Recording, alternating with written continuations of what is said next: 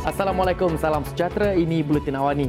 Presiden UMNO Datuk Seri Ahmad Zaid Hamidi tiba di Kompleks Mahkamah Kuala Lumpur tepat jam 8.15 pagi tadi bagi menghadapi beberapa tuduhan. Beliau yang juga merupakan bekas timbalan Perdana Menteri berdepan tuduhan salah guna kuasa, pecah amanah dan pengubahan wang haram melibatkan dana sebuah yayasan.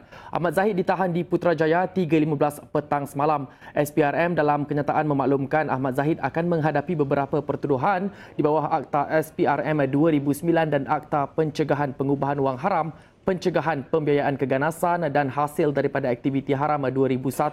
Turut hadir memberi sokongan kepada Ahmad Zahid adalah Timbalan Presiden AMNO Datuk Seri Muhammad Hassan dan juga Naib Presiden Datuk Seri Khalid Nordin. Unit keselamatan juga bersiap sedia membuat kawalan keselamatan bagi menghadapi sebarang kemungkinan. Pembicaraan dijangka bermula jam 9 pagi ini.